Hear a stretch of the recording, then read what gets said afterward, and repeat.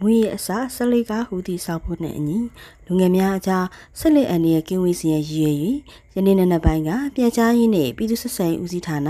ရန်ကုန်နောက်ပိုင်းခရိုင်မြန်ကုန်မြို့နယ်ပြည်သူ့စာကြည့်တိုင်း၌ဆက်လက်မတော်ရနေတော်ရှိုးကိုယခုလိုပဲကျင်းပပြုလုပ်ခဲ့ပါတယ်ရှင်။စိတ်မတော်ရနေ့ကိုဘယ်နေ့မှသတ်မှတ်ထားသလဲဆိုတာကိုပြောပြပေးပါအောင်ရှင်ဟုတ်ကဲ့ပါခင်ဗျာကမ္ဘာစီလိမတောက်ရနေ့ဆိုတာနှစ်စဉ်မေလ31ရက်နေ့ကဒါကမ္ဘာ့ကျန်းမာရေးဖွဲ့ရသတ်မှတ်ထားတဲ့ကမ္ဘာစီလိမတောက်ရနေ့ဖြစ်ပါတယ်ခင်ဗျာ။ ဘာကြောင့်ကမ္ဘာစီလိမတောက်ရနေ့လို့သတ်မှတ်လဲဆိုရင်ကမ္ဘာ့ကျန်းမာရေးအဖွဲ့ကဆေးလိပ်ဆေးရွက်ကြီးသုံးစွဲမှုကြောင့်ကျန်းမာရေးကိုဆိုးရတာထိခိုက်စေတဲ့အပြင်အသက်ပါဆုံးရှုံးရသည့်အထိဖြစ်တဲ့အတွက်အများပြည်သူကိုသိရှိလိုတဲ့အနေနဲ့အဲ့ဒီနေ့ကိုသတ်မှတ်ရခြင်းဖြစ်တယ်။အခုဒီလာမဲ့မေလ31ရက်နေ့ဟာဆိုရင်ကမ္ဘာစီလီမတောက်ရနေ34နှစ်မြောက်နေ့ဖြစ်ပါတယ်ခင်ဗျ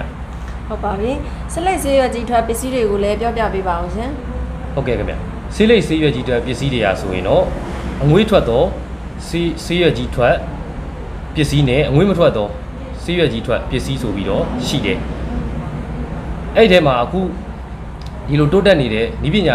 တိုးတက်နေတဲ့ခေတ်ကြီးထဲမှာဤပညာကိုအခြေခံပြီးတော့စားသုံးမှုပစ္စည်းတွေဟိုထုတ်လုပ်နေကြတာဖြစ်တယ်အဲ့ဒီထဲမှာမှ easy ကရက်ကိုဒါဟိုဈေးကွက်တွေမှာလည်းဒါတွေ့ရှိနေရပြီ လူငယ်တွေအနေနဲ့အခုဆက်လက်ဖြတ်ချင်နေသူတွေအနေနဲ့ပေါ့ပြောရမယ်ဆိုရင် easy ကရက်ကိုဆက်လက်အစားထိုးသုံးဆွဲခြင်းဟာလေဆက်လက်ဖြတ်ရမရောက်ပါဘူးခင်ဗျ။ဘာကြောင့်လဲဆိုရင်ဒီ easy ကရက်အဲမှာလေဆက်လက်နဲ့နီးတူဟိုဆက်လက်ဆွေးရကြီးတဲ့ပစ္စည်းတွေပါဝင်တဲ့အတွက်ကျန်းမာရေးဘေးထွက်ဆိုးကျိုးတွေကိုဖြစ်စေပါတယ်ခင်ဗျ။ဟုတ်ပါပြီဆက်လက်တော်ခြင်းအပြင်ရရှိလာတဲ့ယောဂတွေကိုလည်းပြောပြပေးပါအောင်ရှင်ဟုတ်ကဲ့ပါဆက်လက်တောက်ခြင်းကြောင့်ရရှိတဲ့ယောဂတွေကတော့ ပထမဦးစွာဆက်လက်ငွေကိုရှူရှိုက်ရှူရှိုက်လိုက်တဲ့အတွက်လူခန္ဓာကိုယ်ထဲမှာရှိတဲ့အဆုပ်အဆုပ်ကိုထိခိုက်စေပြီးတော့အခြားသောအဆုပ်ကနေတဆင့်နှလုံးတို့သွေးတွေကနေမှာပါအဲ့ဒီဆက်လက်ထဲမှာပါတယ်ဟို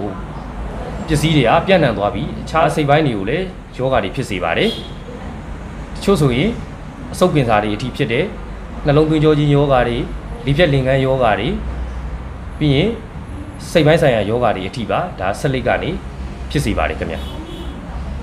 ကိုကိုယ်တိုင်ကဆေးလိပ်မတောက်ပင်ပဲလေဘေးပတ်ဝန်းကျင်မှာဆေးလိပ်တောက်သူဒီဆေးလိပ်တောက်သူတွေနားမှာနေမယ်ဆိုရင်ဒါတစ်ဆင့်ကန်ဆေးလိပ်ငွေရှူရှိုက်တဲ့သူဖြစ်ပြီအဲ့ဒီလူဟာဆိုရင်လေဆေးလိပ်တောက်တဲ့သူနီးပါဆေးလိပ်မှရရှိတဲ့ယောဂတွေကိုခံစားရပါတယ်ခင်ဗျယခုတင်ဆက်တည်သောရှိုးသည်လူငယ်များအကြားဆက်လက်အန်ရဲ့ကင်းဝေးနိုင်စီရဲ့ရည်ရွယ်၍အသိပညာပေးထုတ်လွှင့်ခြင်းဖြစ်ကြောင်းသိရပါတယ်ရှင်။